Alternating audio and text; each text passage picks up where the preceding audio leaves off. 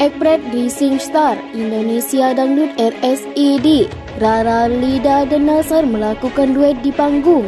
Ajang musik tersebut tentunya dengan lagu andalan mereka berdua yakni Aku Kamu Kita. Nasar bersama Rara Lida bernyanyi sambil bergandengan tangan. Dan keduanya terlihat sangat percaya diri. Mereka menyanyikan lagu di hadapan pemirsa di panggung Racing Star Indonesia Dangdut yang tayang pada nanti malam Jumat pukul 20.30.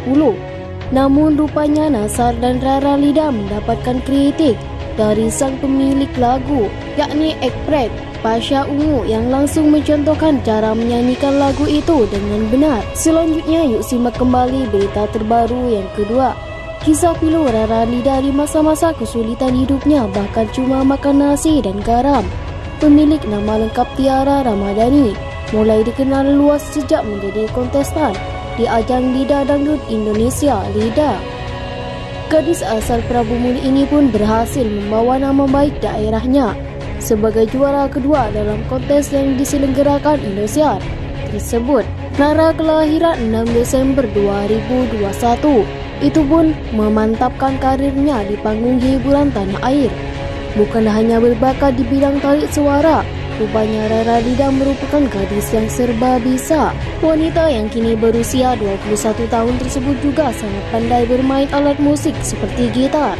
Tak hanya penampilannya di atas panggung yang memukau para penggemarnya yakni Ralova. Ternyata Rara Dida juga jago dalam seni peran dan juga pembawa acara.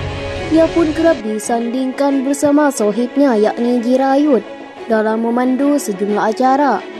Karakter Rara Lida yang heboh dan kocak mampu menghibur penonton dan penggemarnya. Sehingga kehadiran Rara Lida selalu dinanti-nantikan oleh banyak orang. Akan tetapi siapa sangka di balik sikapnya yang ceria dan energi ternyata Rara Lida menyimpan cerita hidup yang semangat memilukan. Diketahui jika Rara Lida pernah merasakan hidup susah Sebelum sukses menjadi pedangdut muda, Ibu Rara Lida berjuang keras untuk menghidupi anak-anaknya. Sang ibu berjualan kue untuk sarapan hingga mengais rezeki sebagai pemulung. Itu semua dilakukannya demi mencari sesuap nasi bagi keluarganya. Apalagi saat itu sang suami tengah sakit-sakitan dan ia harus mencari nafkah, terutama bagi kedua anaknya yakni Rara Lida dan adiknya. Kendati hidup susah, diakui Rara Lida jika sang ibu sangat mengedapannya harga diri. Sebagaimanapun kekurangan yang dialami, Rara Lida mengungkap jika ibunya tidak ingin meminjam uang dan berhutang bahkan ke keluarga sekalipun. Apalagi Rara Lida diajarkan oleh sang ibu mengenai makanan yang dikonsumsi tidak perlu orang tahu. Karena mereka tak ingin orang merasa kasihan Cerita pilu mengenai pahitnya perjuangan hidup ini dibagikan Rara Lida melalui channel YouTube The Hakims Story beberapa waktu lalu.